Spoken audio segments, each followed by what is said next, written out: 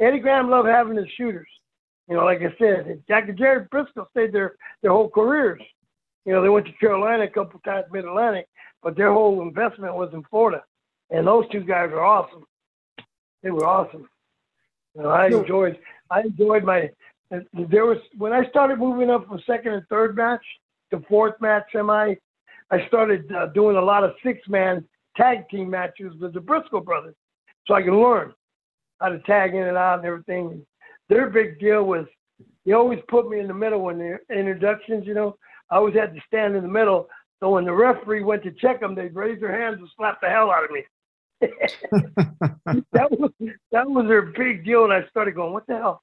Then I finally realized that was a big kick for them, so I let them get away with it all the time. You know, I didn't want to know he.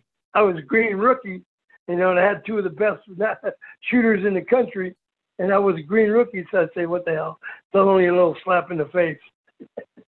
but those two guys took care of me, took me under their wing.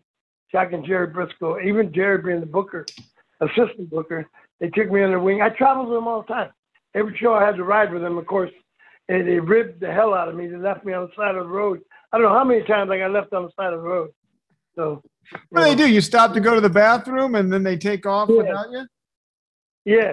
They, they call P, P stop and they go to get out the door and I'm already out the door because I'm in the back seat.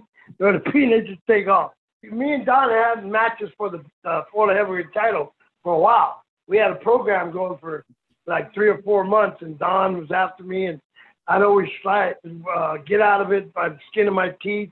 He slip on a banana peel, all that. That's what I always loved about Don Muraco. This guy could get beat every night. Every night you could beat Don Muraco, but he had more heat than the than anybody in the territory. He got more heat getting beat than anybody I know. He just kept his heat.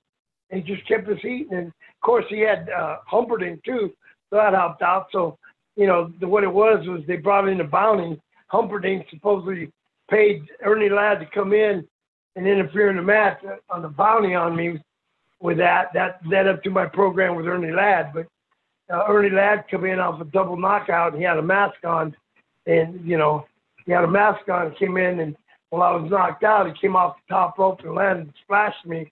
And put Muraco on top of me for one, two, three. And, you know, people went crazy Miami. So I almost started a riot.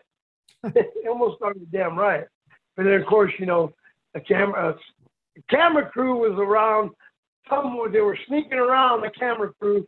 All of a sudden, he popped up and he went in the dressing room and they caught Humperdink paying Ernie Ladd a ton of money for what he did. Find us on Facebook and Instagram at VOC Nation Wrestling Network and follow us on Twitter at VOC Nation.